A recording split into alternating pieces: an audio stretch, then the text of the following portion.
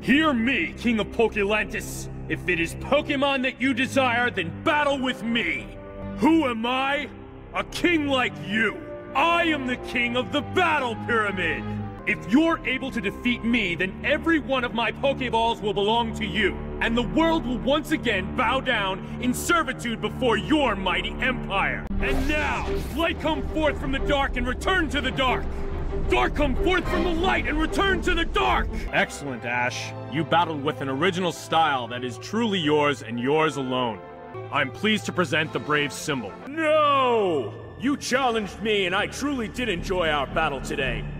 But the fact remains that your battling style is little more than standard ordinary fare. Now where is your true inner strength? All right, what's wrong? And here I thought you wanted to beat the man who defeated your brother. Young man, this battle of yours, was that your true battle? You've done an excellent job raising and training your Pokemon, but you allow your emotions to betray you on the battlefield. We will battle again one day when you've learned to control them. I'm Brandon, the Pyramid King. Most people call me the Chief. I have much to learn still. Just like the good old days. Our paths cross again.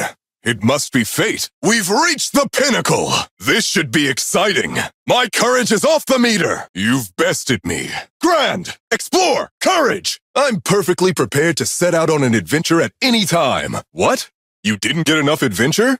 If that's the case, you should continue the adventure in your dreams. Ha ha ha! Don't lose faith. That's enough. No. Hmm. Let's do this. Sorry.